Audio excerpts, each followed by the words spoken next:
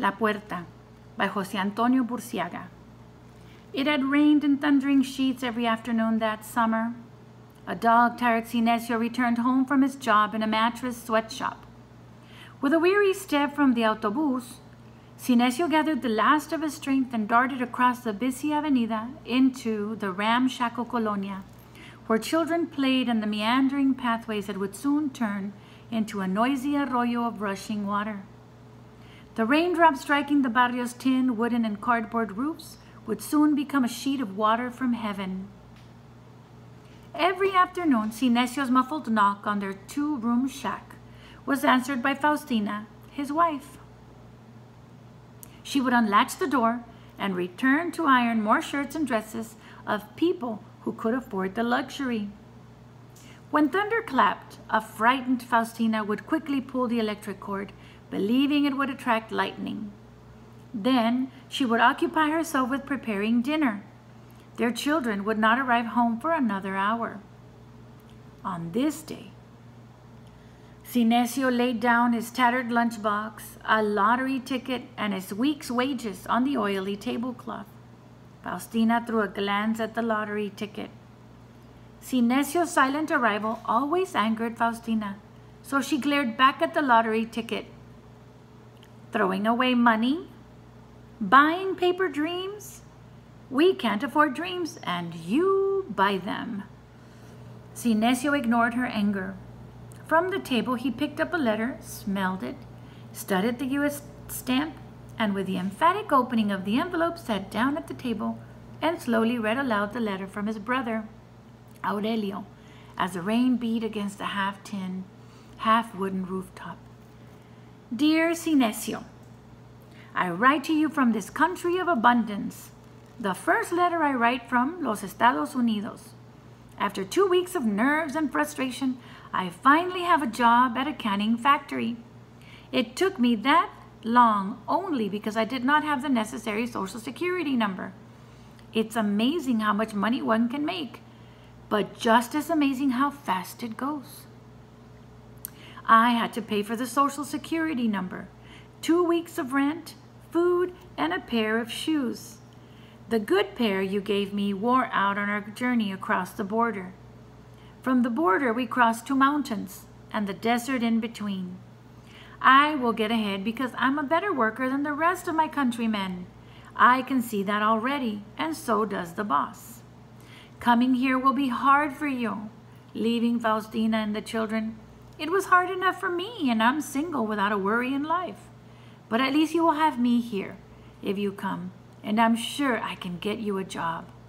All you've heard about the crossing is true. Even the lies are true. Saludos from your compadres Silvio and Ramiro. They're doing fine. They're already bothering me for the bet you made against the Dodgers. Next time we get together, I will relate my adventures and those of my compañeros. Things to laugh and cry about. Aurelio signed the letter, Saludos y abrazos. Sinesio looked off into space and imagined himself already there.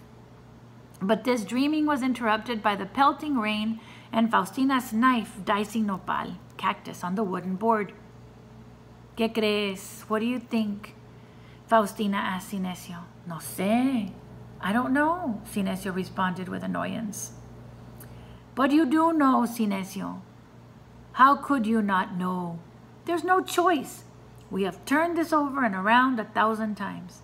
That miserable mattress factory will never pay you enough to eat with. We can't even afford the mattresses you make.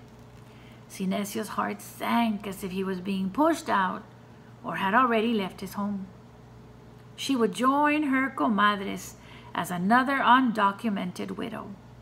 Already he missed his three children, Celcio, Genaro, and Natasia, his eldest, a joy every time he saw her. An absence in his heart is an empty pain, he thought. Faustina reminded Sinesio of the inevitable trip, with subtle statements and proverbs that went straight to the heart of the matter.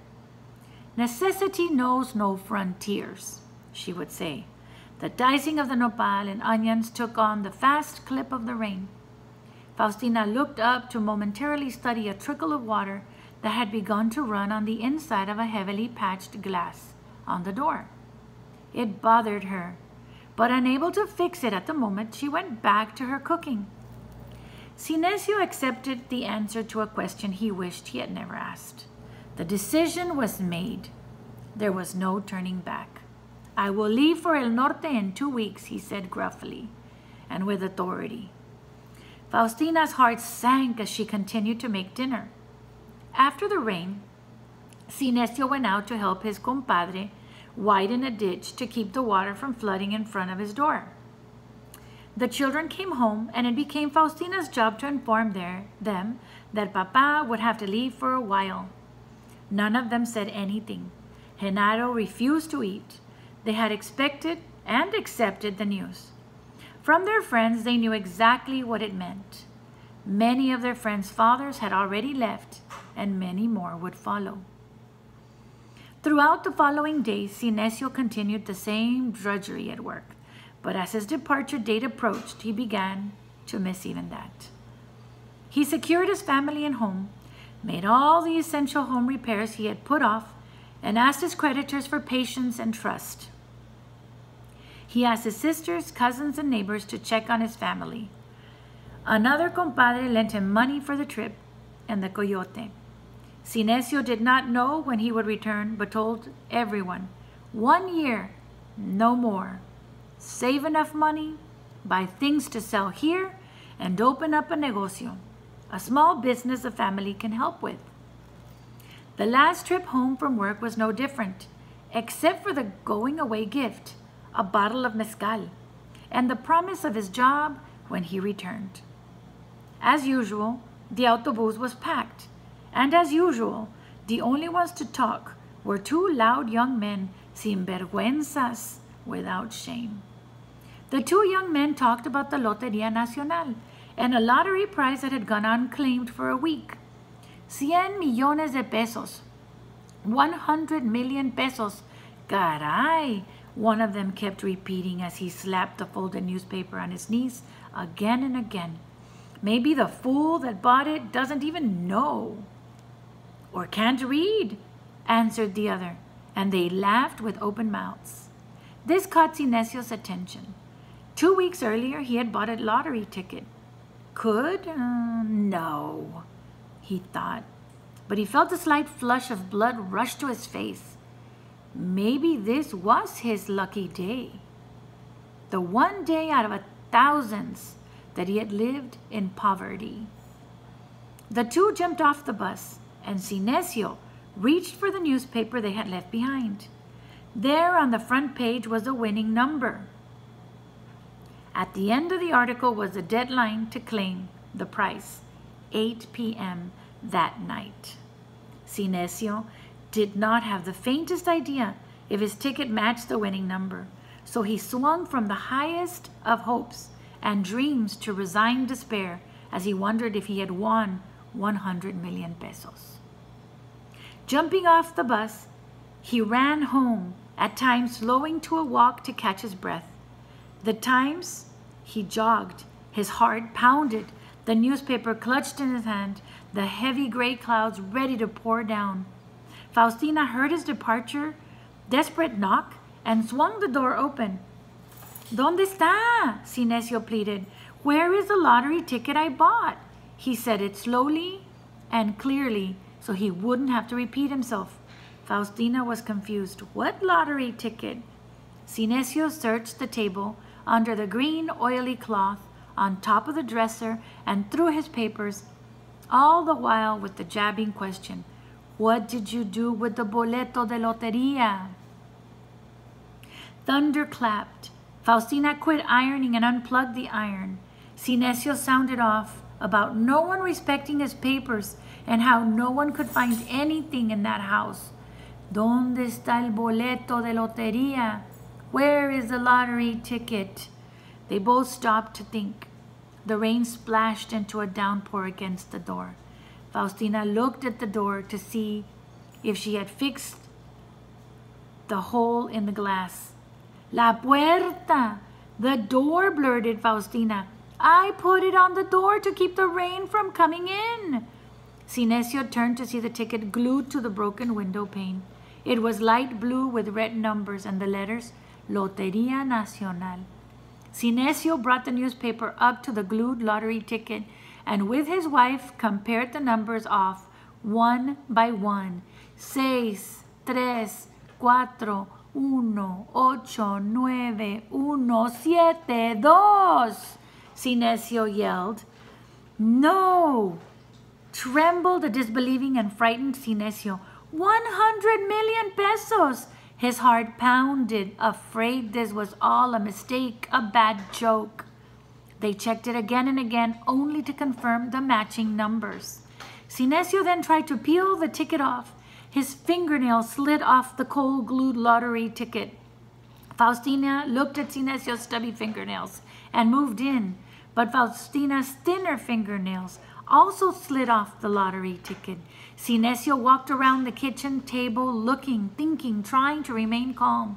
Then he grew frustrated and angry. What time is it? A quarter to seven, Faustina said, looking at the alarm clock above the dresser. They tried hot water and a razor blade with no success. Sinesio then lashed out at Faustina in anger. You!